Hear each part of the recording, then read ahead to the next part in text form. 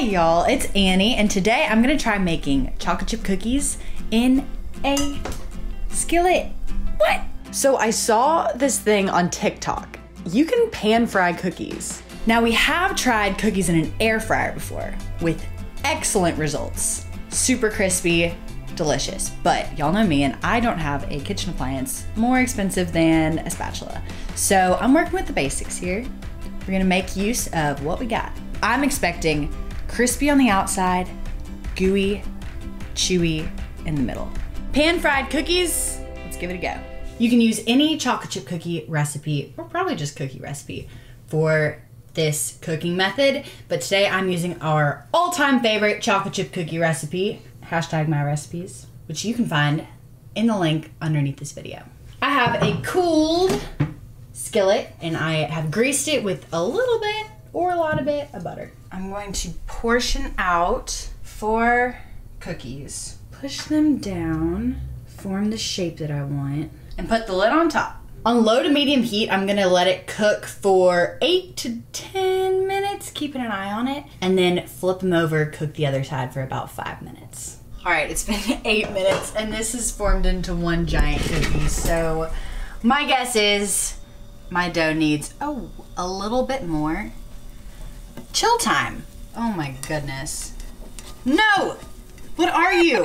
I wonder if I could like, oh, okay. No. My guess is my my heat was too low. See you never. Round two. Less dough because I don't want it spreading all over the dang skillet. Okay, not good, not good. It's smelling. I think it's burning. Higher heat was not the answer. Just two cookies on here. I'm getting sick and tired of waiting on all these cookies. These look better. Okay, so I'm thinking the keys are don't cook too many in the pan at one time. Oh, what? How did I do that? Can we flip? Well, we can't. No, we can't. Why are these the flattest cookies I've ever seen? What is. Okay. The outsides have crisped up almost like pancakes. Okay, but I can get my spatula under there. Maybe it'll take two spatulas. Okay. so what we have here is one cookie in shambles and one cookie taco. Okay, much better. And okay, so much better. Golden brown perfection. So when you first take them off the skillet, they will be still very soft, but they will harden up, so don't worry if they are too soft.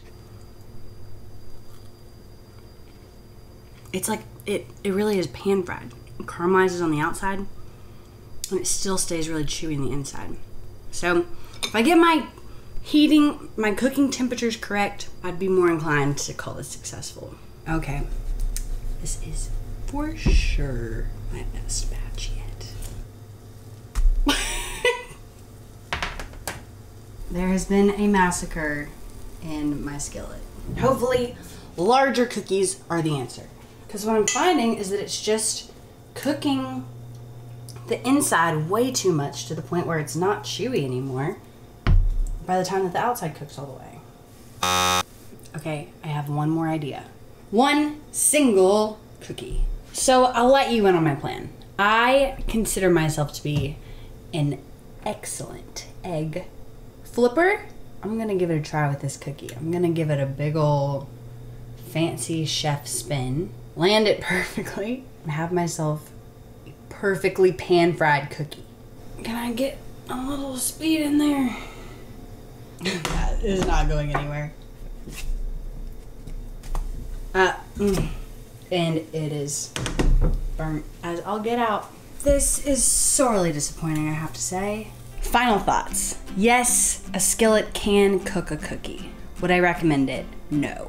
A, you're only getting small, one to two to three cookies per batch, which just takes so much longer. When you're in the mood for cookies, you want like 12 of them. Second, you might have as many fails or even more than I did. But if you know how to make this work for me, please let me know in the comments below. I am clearly on the struggle bus and would love some advice. And now, after smelling chocolate chip cookies for the past hour, I'm gonna have to heat up my oven and just bake the rest of them.